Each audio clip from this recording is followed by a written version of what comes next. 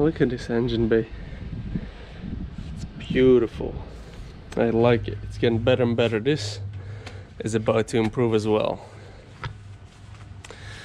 Time for you to go today. Look at this. Busted it open, you probably saw. Like a week after I got it. Got these on. Darn it. And then here's the new pair. Looking shiny, beautiful. So those are about to go on. And then a fresh new oil with a good filter. Beautiful day out today. Uh, so I decided to do some maintenance on my car and then uh, fix the winglets that I told you guys. Remember when I busted it off like two weeks after I installed it. So it's been a while. I ordered the new ones and it's been months already sitting here. So I painted them, put some clear coat on it, let it dry, send it wet, sanded it down, and then put another clear coat with spray can so it looks nicer. It looks a little more professional than just like, you know, a spray can job. So uh, today I'm gonna change my oil, it's already due.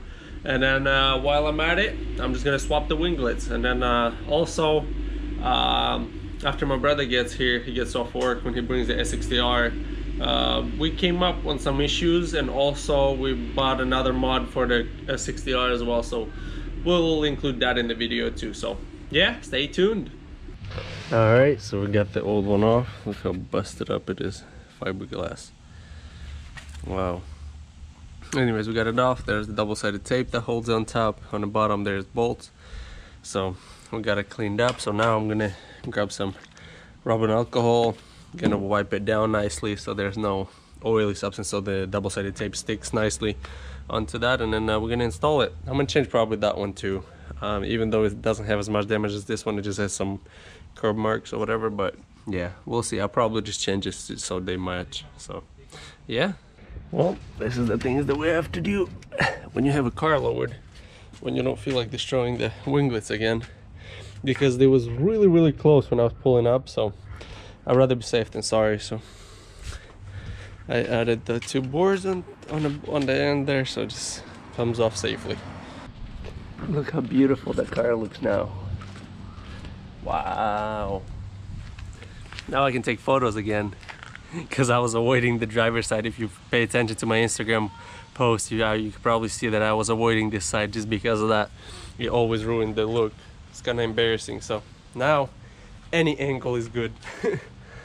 this thing is awesome the engine bay keeps surprising me. The intake manifold will be here in two days or three days, I think, on Tuesday. Um, I'm hella excited for that. And then also the brake kit is always also going to be here. I think they said Wednesday, so there's going to be some awesome content soon. I'm going to be doing some dyno testing with the intake manifold before and after the install, and there's going to be some awesome awesome content on this car. So this is probably going to be it for today's video for this car. Um, the next few seconds in a few seconds you guys probably gonna see and it's gonna be the S60R I'm gonna do an update on that. We have a check engine light. And let you guys know what it's for and then what we did um, upgrades wise uh, on that already and then what we're planning to do. So yeah stay tuned. It's the next morning the next day. Um, my brother didn't make it yesterday so he brought the car in today. So today uh, we have the check engine light. Like I told you guys I'm gonna scan I'm gonna show you guys what the code is and I'm gonna show you what parts we ordered to replace to fish to, you know fix that. And then also for the upgrade um, so that's powering on right now. So we got the Swedesource filter um, we did some research uh, because you know how people say you know the K&N the oily destroys the turbos all that blah blah blah stuff. So this is a dry uh, high flow air filter. Uh, we read some good things about it. We actually received it like a few days before um, shifting lanes posted their video about this guy here. Uh, i also did a drive before and after. I'm gonna tell you guys i'm gonna be honest. The the noise itself obviously improved but i don't know i think in second and third gear high rpms man this thing you know changed the how how good it pulls. Like the power was pretty noticeable how it increased. The car was breathing better. I don't know if that's because our old one was original and it was already dirty and it wasn't letting the car breathe and then we put this one in or it's just that much better as a filter. So either way we're happy about this one. So yeah now we're gonna hook this up to the car and i'm gonna show you guys what the code is okay so i entered the vehicle in um, now we're in the engine menu Uh, we're gonna go to codes. What?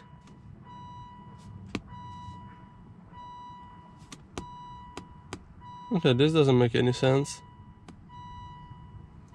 Mm, let's go to code scan. See what it, what it shows us. There it is, engine. Why did it not show? Anyways, it says leak diagnostic unit pump signal too high.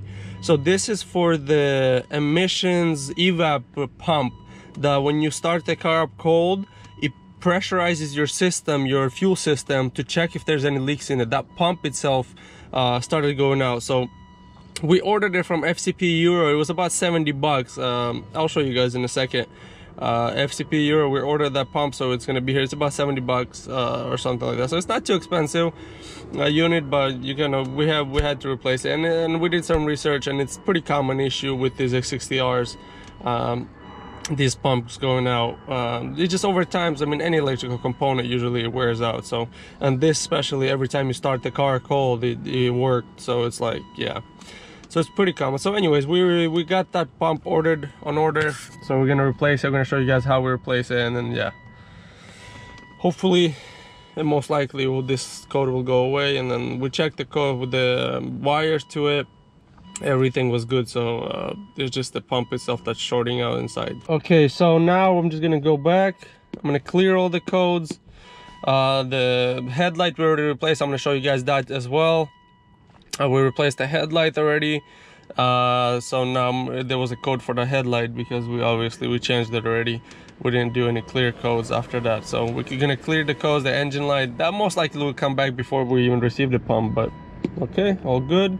So now we're good. So now we're just gonna buy the pump replace it and then you know if the code comes back we'll just clear it after we replace it and all good should be all good so as you guys probably noticed and I'll show you in the filter that we got the headlight already. We got the headlights, we got a pair. It, I don't remember how much we got it for, around three, four hundred dollars. Um, the guy sent us the pair and then um, this the headlights had some broken tabs and stuff. He didn't specify that. So he anyways he refunded us like a hundred dollars. So anyways they cost us about 300 bucks for the pair. They have some broken tabs on them and stuff but they seem like they're functional. I mean they have like some chips on them but we didn't care. We just wanted a functional light that had a glass on it and that was functioning so we didn't really care. But yeah um, we installed it so everything seems pretty good now. Um, the lights work. Now we're just gonna be getting the bumper. We found one found a website that um, uh, ship out bumpers refurbished so pretty much renewed bumper and they can paint it for you for about 600 bucks shipped to your house uh, painted so yeah we're probably gonna do that. Just gonna get one pre-order with the paint code send them the paint code and then uh, yeah. It's not cheap. I was hoping really would get a cheaper one but since it's an old car but i guess not. It's a volvo still so yeah. Anyways we're gonna fix it. We're gonna fix the bumper and then we're gonna dive straight into the exhaust and tuning after that. So we already got the intercooler the intake um, the you know, i mean filter. So i mean that's perfect. I mean in these cars you, it has enough flow and cold air. The system the intake system it's a lot better than these cars in these ones. So all we needed is just this guy here. So and then after that we're gonna get exhaust and then the tuning. So yeah we're gonna have some fun with this one so in today's video, I'm gonna show you guys um, some 0 to 60 and then the acceleration. I'm gonna go find an off-road course just out, you know, just out of the city or here a little bit. So when I'm, I'm not too far, I'm on the side of the city, I'm not in the center anyways. So I'm gonna drive out and then find a road uh, and then we're gonna do some you know from 0 to 60 i'm not gonna abuse the car i'm not gonna really launch out anything like that but i'm just gonna do some acceleration videos and i'm gonna have my brother here uh, on the side uh, film the speedometer just to show you guys some you know some nice clips of how this car accelerates now. It's actually pretty pretty good. Uh, we did some uh, pulls with the audi a7 and uh, most of the time we pull ahead. uh, some of the videos if we screwed up a little bit and shift properly we were about the same but most of the time this car pulls ahead so we're really impressed with the power so. Yeah so we're gonna do some uh, some pull videos and show you guys the speedometer or you know how the car drives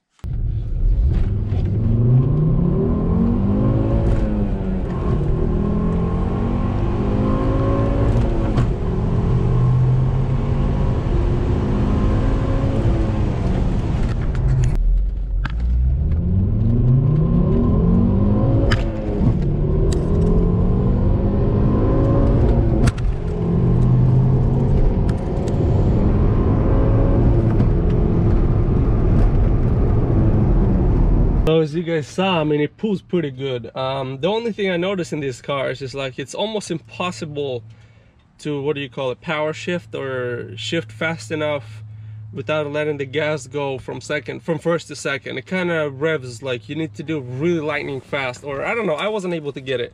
And i didn't want to ram it too fast because it feels like there's some tension in the shifter from first to second. So when you try to shift it it has some sort of resistance so i didn't want to force it. So it jumps a little bit the rpm from first to second gear but all the rest of the gears were pretty good. I was able to shift fast enough where it kind of you know rev matched and cut it in time. So this car is pretty impressive to be honest. I mean I can only imagine how fast it's gonna get with the exhaust and then uh, the tune. Because right now I mean even when I was driving the car I told my brother I was like you can't even smell this car is running rich. Like you can smell that it's not burning all the fuel inside the car. So this car definitely needs a tune already. But we're willing to wait for the exhaust uh, which is going to be probably in the next week or two or whatever when when the IPD gets in stock we're gonna get the full down cad pretty much the turbo back the downpipe and cat back uh, exhaust from them. So once we install that and we're just gonna get a stage 2 or stage 2 plus tune uh, onto this car. And then uh, yeah we're gonna be pushing some good power and gonna have some fun times with this car. Once the drag strip opens we'll take this car and then the new car to the drag strip and we'll have some fun. And I don't know if I mentioned it but you can probably see this side is already kind of saggy um, the shocks the front shocks are pretty much toast so we need those. When you put it in comfort mode man it gets noisy rattly man it's ridiculous. In sport mode it's okay still tolerable you know it's kind of you know it's reasonable still but yeah in comfort mode it's already all over the place it's it's ridiculous. So we need the shocks as well on this car so. We're gonna get the bumper shocks you know exhaust anyway so i'm gonna document everything on the channel so hope you guys enjoy. We're gonna have some fun with this car with that car. Like i said we have a bunch of parts coming for that the red car uh, already next week.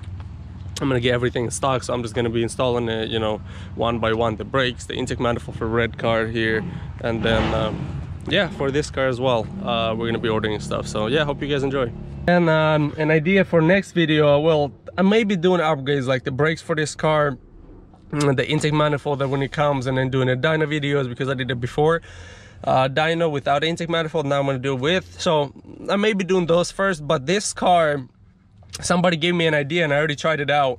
Shifting the car when you race or when you just kind of want to do pull or 0 to 60 you have to try to shift the car at about four and a half five thousand rpm you just use the paddle shifters. If you let the car go you know all the way to like the red line the 6000 rpm it slows the car down. And i already verified that. I didn't know that but uh, somebody mentioned in my instagram video as i tried to shift it and i tried man oh man did it make a difference.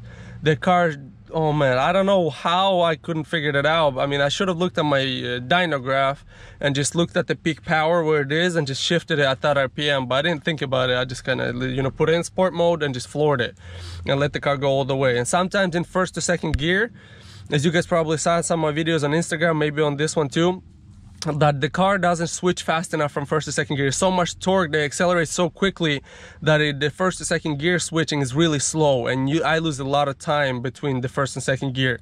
But when I shift it, this thing doesn't doesn't lose any power. Just and just like, man, it's impressive.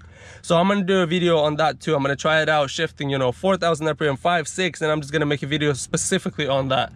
I think it will make a great video for you guys to see the difference between, you know, just putting in sport mode and shifting it at different RPMs. And then I'm gonna get probably a Dragy app, it's a GPS and um, uh, Bluetooth uh, app uh, the thing and it measures your 0 to 60 times quarter mile one eighth of a mile everything and it's really actual. I've seen a lot of people compare it to the drag strip and it was identical so I'm gonna get that and I'm just gonna try it out and I'm gonna record everything and just tell you guys what, what I saw what the difference was so uh, you should guys expect that video soon too. Uh, probably after I do all the upgrades so the upgrades video will be probably first so that'll be it for today's video. Hope you guys enjoyed it. Give it a thumbs up. Subscribe to the channel. Tell your friends about it. They like modifying cars or they like Volvos in general. We're gonna have a lot of content on this car and then also on that S60R there. So for you guys' entertainment uh, we spend a lot of time uh, on these cars. Um, I don't get any sponsors right now so not anybody pays me for the videos or anything I make. So I just spend my personal time just so you guys can enjoy it, so you guys can have some you know Volvo content. So it'd be really cool if you guys can hit the subscribe button, you know, hit the like button. Um, it helps me out. Uh, so yeah, thank you guys again, and uh, as usual, see you next time.